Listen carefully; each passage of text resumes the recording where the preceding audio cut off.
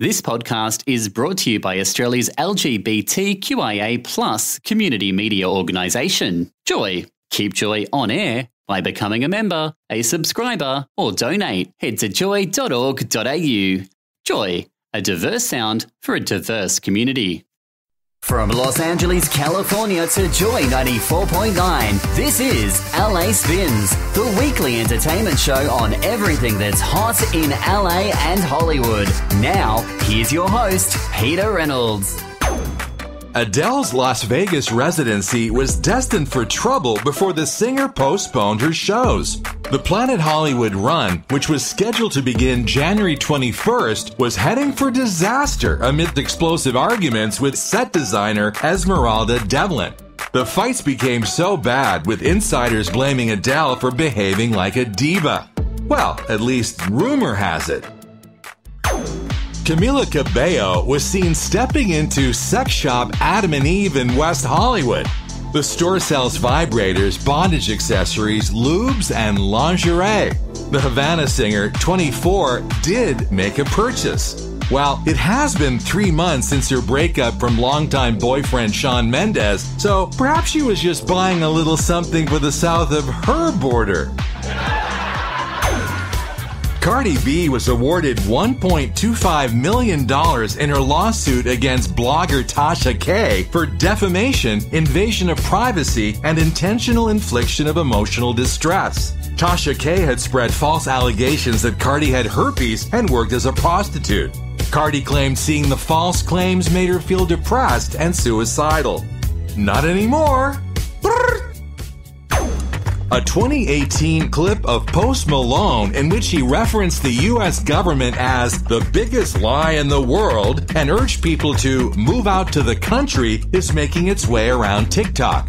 The clip has over 2 million views. He's bought a doomsday home for himself in Utah, which has all the bells and whistles to protect him from the apocalypse. Hey, Posty, any room for me?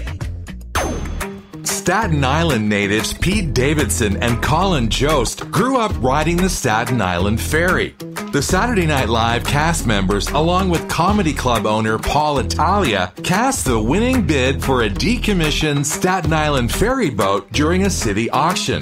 The group plans to turn the ship into a floating entertainment venue. That Pete Davidson sure gets around. Controversial musician Kid Rock has released a profanity laced new single that bashes President Biden and Dr. Anthony Fauci over vaccine mandates and other policies. The Redneck Paradise singer dropped the new song along with two others to promote his upcoming Bad Reputation tour, which he claims could be his last. Yep, let's hope so. The Fugees have been forced to cancel their reunion tour due to COVID. Yeah, the formerly estranged hip hop group apologized to fans for backing out of the concerts, which were intended to celebrate the 25th anniversary of their album, The Score. Well, between the band breaking up and Lauryn Hill not showing up to her shows, fans are pretty much used to being disappointed. 50 Cent and Love and Hip Hop's Mona Scott Young will try to solve some of rap's most notorious murders in the new TV series Hip Hop Homicides. The eight part series will focus on the mysterious deaths of Biggie Smalls, Tupac Shakur, and more. Fitty himself survived being shot nine times back in 2000, and now he's filthy stinking alive. I mean, rich. Just hours after apologizing to Taylor Swift about comments he made questioning her songwriting abilities, Gorillaz and Blur frontman Damon Albarn dedicated his final song at an LA concert to the LA Times writer whose interview set off the whole dust up. Hey Damon, you said Taylor doesn't write her own songs, which is false. And don't take on Taylor Swift. You'll lose. Idiot of the Week. Zach Davis, the fiance of Teen Mom OG star Cheyenne Floyd, was arrested while going through customs at LA Airport. Davis was returning home with Floyd following a vacation in Mexico. He had outstanding warrants for violating probation in several cases, including theft and DUI. Zach Davis, idiot. Arnold Schwarzenegger was involved in a multi car accident in the LA neighborhood of Brentwood. The Terminator actor, 74, was driving a GMC Yukon that collided with a red Prius, rolling over the smaller vehicle before continuing to rotate and also hitting a Porsche Cayenne. The driver of the Prius sustained a head injury and was unable to take any selfies. Kelly Clarkson's ex husband, Brandon Blackstock, has won a small legal victory in their long battle over their Montana ranch.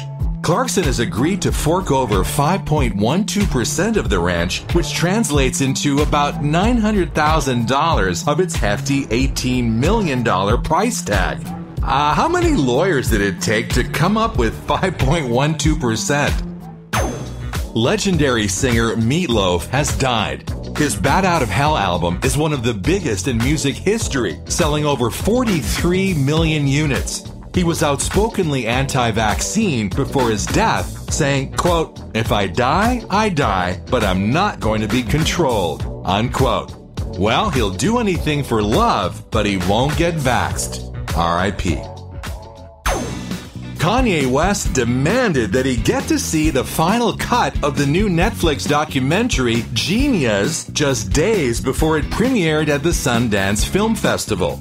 The 44 year old man baby posted, quote, open the edit room immediately so I can be in charge of my own image, unquote. The film's supposed to be released on February 16th. Doubt it. The trash bin.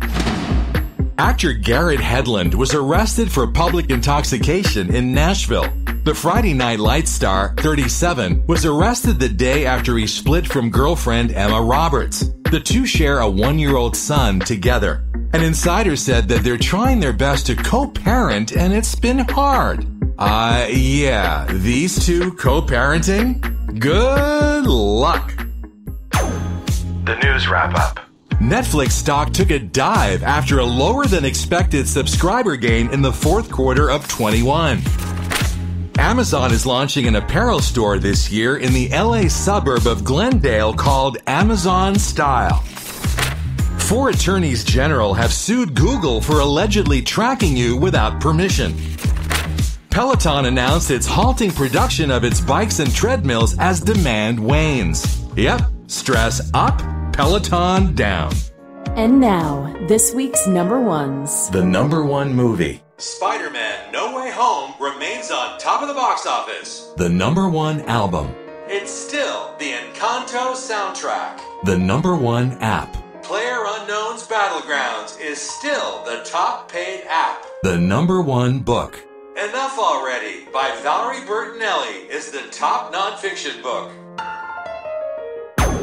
Charlie Puth is back with a new record for the first time in four years and reveals that he created most of the album on TikTok. Puth said, quote, My goal for this album is for everybody to know every song title before it comes out. I love the fact that my new song, Light Switch, has been teased for months and people are making bootlegs of it. Some producers have even run it through iZotope, taken the acapellas, and made their own versions of Light Switch. I love that. I think music should be twisted and pulled in many different directions. That was the goal for this album. Unquote. Charlie says he scrapped the original songs for the album because he didn't like any of the music that he was writing in 2019. Well, we're glad he's back and we love his new track.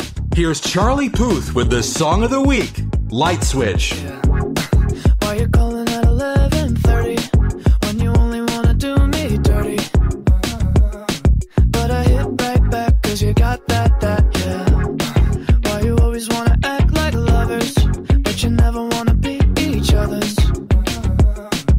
I don't look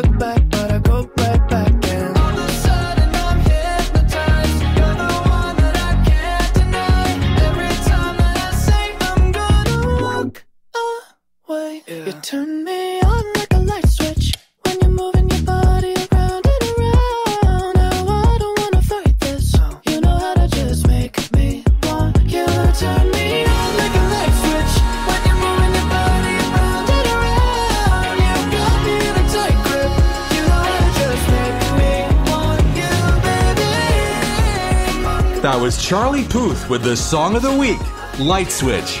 Visit us on Facebook at facebook.com slash LA Spinz. You know, with a Z. And that's what's happening in LA and Hollywood. For LA Spinz, I'm Peter Reynolds. So long from the City of Angels.